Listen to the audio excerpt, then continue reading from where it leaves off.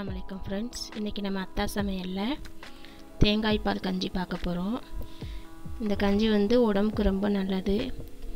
இந்த கஞ்சி எப்படி செய்கிறதுன்னு நம்ம இப்போ பார்க்கலாம் சிம்பிளான முறையில். அதுக்கு ஒரு பெரிய தேங்காயில் அரை மூடி தேங்காய் எடுத்து வச்சுக்கிடுவோம் அந்த தேங்காயை எடுத்து நல்லா துருவிட்டு அதை வந்து மிக்சியில் வச்சு நல்லா அரைச்சிட்டு அப்புறம் அதை நம்ம வந்து பால் புழிஞ்சு எடுத்துக்கிறணும்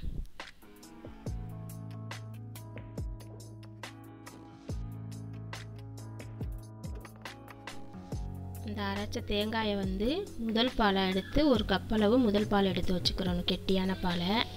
அதை எடுத்து நம்ம லாஸ்ட்டில் தான் அதை சேர்க்க போகிறோம் அப்புறம் ரெண்டாவது பாலை மிச்சம் வர ரெண் ரெண்டாவது பாலை வந்து நம்ம எடுத்து அதை தனியாக எடுத்து வச்சுக்கிறணும்.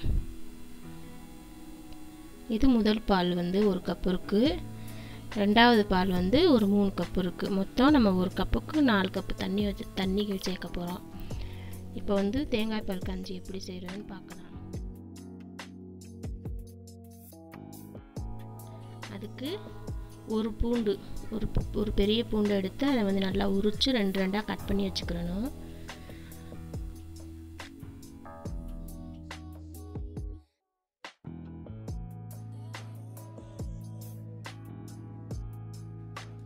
அப்புறம் ஒரு கப் அரிசி. பச்சரிசி எடுத்து ஒரு கப் அளவு அளந்து இந்த ஒரு கப்பில் உங்களுக்கு எந்த கப் மெஷர் பண்ணுறீங்களோ அதில் பண்ணிக்கிடலாம். இப்போ நான் இந்த கப்பில் ஒரு கப் அளவு அளக்குறேன். இந்த ஒரு கப் அளவு ரைஸ் வந்து நம்மளுக்கு ஒரு ஃபேமிலிக்கு நாலு பேர் கொண்ட ஃபேமிலி சாப்பிட்றதுக்கு கரெக்டாக இருக்கும் இந்த கஞ்சி. ஒன்றரை ஸ்பூன் அளவு மே இது போட்டுக்கிறணும் வெந்தயம். ஒன்றரை ஸ்பூன் அளவு வெந்தயம் சேர்த்துக்கிட்டு அப்புறம் அந்த அரிசியை வந்து நல்லா நம்ம தண்ணி நிறையா விட்டு கலந்துக்கிறணும். இது ரேசன் அரிசி தான். ரேசனில் போட்ட பச்சரிசி அதை வந்து நல்லா கழுவி எடுத்துக்கிறோங்க.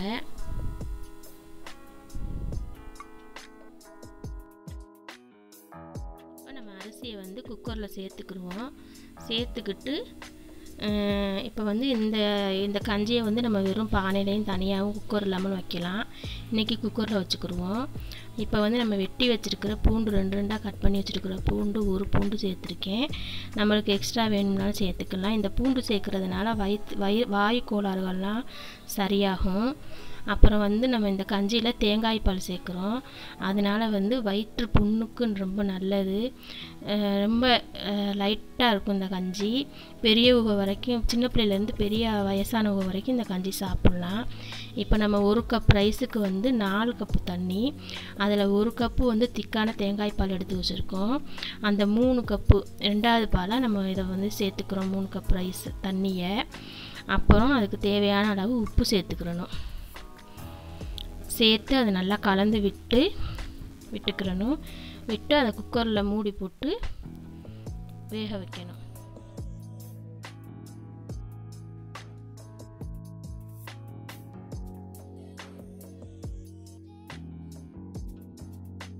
இப்போ நம்ம குக்கரை மூடி அடுப்பில் வச்சு ஒரு ரெண்டு விசில் மூணு வி ரெண்டில் இருந்து மூணு விசில் அளவு வைக்கணும். வச்சுக்கலாம். இது பச்சரிசிங்கிறதுனால ஈஸியாக வெந்துடும் அதனால் வந்து நான் உங்கள் குக்கருக்கு தக்கன நீங்கள் பார்த்து உங்களுக்கு ரைஸ் எவ்வளோ வேகுமோ அந்த அளவுக்கு நீங்கள் வச்சுக்கலாம். இந்த கஞ்சி நல்லா குலைவாக வந்தால் ரொம்ப நல்லா நல்லா இருக்கும். இப்போ விசில் வந்துருச்சு. நல்லா கஞ்சி வெந்து வந்துருச்சு. இப்போ நம்ம வந்து விசில் வந்தோடனே அடுப்பை ஆஃப் பண்ணி வச்சுக்கலாம்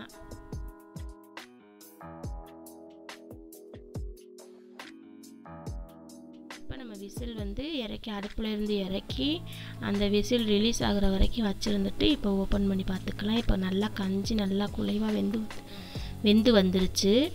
இப்போ வந்து நம்ம அதை நல்லா கிளறி விட்டுக்கலாம்.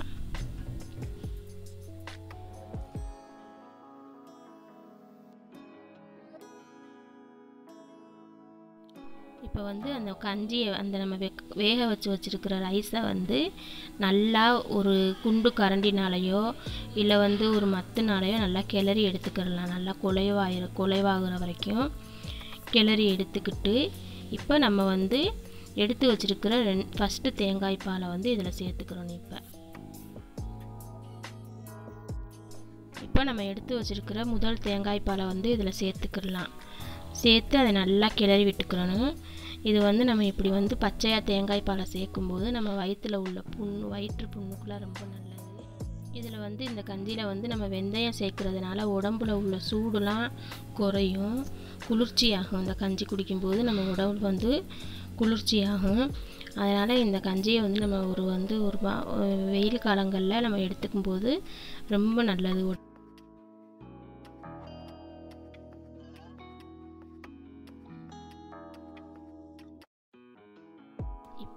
நம்ம வந்து நம்ம உடம்புக்கு ரொம்பவே சத்தான குளிர்ச்சி தரக்கூடிய தேங்காய் பால் கஞ்சி தயாராகிருச்சு இதை வந்து வெந்தய கஞ்சின்னு சொல்லுவாங்க. இதை வந்து நீங்கள் வீட்டில் இப்படி செஞ்சு பாருங்கள் ரொம்பவே டேஸ்ட்டாக இருக்கும். இதோட வந்து துவையல் இதெல்லாம் வச்சு சாப்பிடும்போது நல்லாயிருக்கும். புளி துவையல் இது பொரு பொட்டுக்கடலை துவையல் இப்படி வச்சு சாப்பிடும்போது ரொம்பவே டேஸ்ட்டாக இருக்கும்.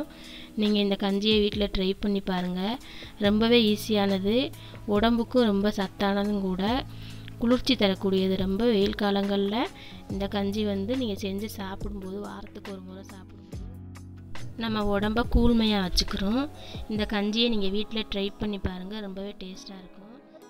இந்த வீடியோ உங்களுக்கு பிடிச்சிருந்துச்சுன்னா இந்த வீடியோவை லைக் பண்ணிக்கோங்க. உங்கள் ஃப்ரெண்ட்ஸுக்கெலாம் இந்த வீடியோவை ஷேர் பண்ணி விடுங்க அப்படியே நம்ம அத்தா சமையல் சேனலை சப்ஸ்கிரைப் பண்ணிக்கோங்க. பக்கத்தில் உள்ள பெல் ஐக்கானை கிளிக் பண்ணுங்கள் அப்போ தான் நான் போடுற வீடியோஸ்லாம் உங்களுக்கு நோட்டிஃபிகேஷனாக வரும். தேங்க்யூ